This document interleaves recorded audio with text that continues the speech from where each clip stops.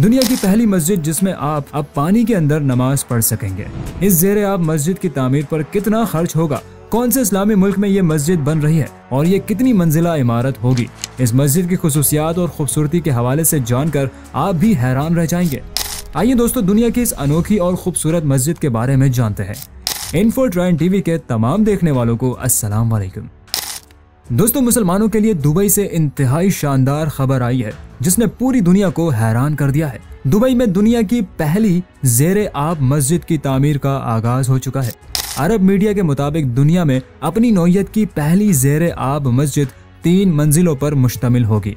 मस्जिद की पहली मंजिल मुकम्मल तौर पर जेर आब होगी, जिसमें नमाज़ के लिए जगह मखसूस होगी। दूसरी मंजिल पर कॉन्फ्रेंस हॉल जबकि तीसरी मंजिल पर इस्लामी फ़नून की नुमाइश और कुरान सेंटर कायम किया जाएगा।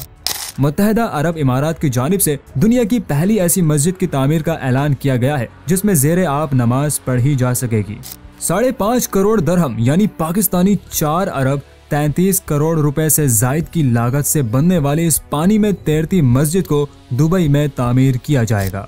दुबई के महकमा इस्लामी उमूर और फलाही सरगर्मियों की जानब से इस मस्जिद को दुबई वाटर कैनाल में तामीर करने का ऐलान किया गया। उन्होंने मजीद बताया कि ये तीन मंजिला इमारत होगी जिसमें नमाज़ पढ़ने की जगह जेर आब होगी और एक वक्त में 50 से 75 अफराद नमाज़ पढ़ सकेंगे।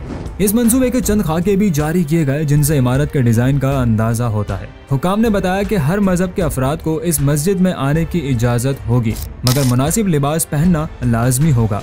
उनका कहना था कि यह मस्जिद अगले साल तक सयाहों के लिए खोल दी जाएगी। तो दोस्तों इन्फो ट्रेंड टीवी की आज की वीडियो में इतना ही। तो कैसी लगी आपको ये खूबसूरत मस्जिद? कमेंट में ज़रूर बताइएगा। वीडियो अगर पसंद आई तो वीडियो को लाइक शेयर एंड चैनल को सब्सक्राइब कर दीजिए, ताकि हमारा ताल्लुक रहती दुनिया तक कायम रह सके। अपना और अपने प्यारों का भरपूर ख्याल रखिए। अल्लाह हाफिज।